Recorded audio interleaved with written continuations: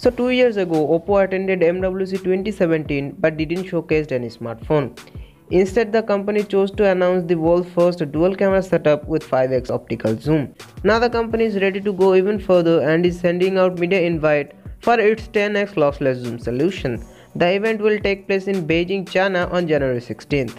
The current 5x setup is essentially a 5p lens followed by a 90 degree angular prism that detects the light to a vertically positioned camera sensor. The OIS unit is put on the other end so it would work even when the zoom is maxed out.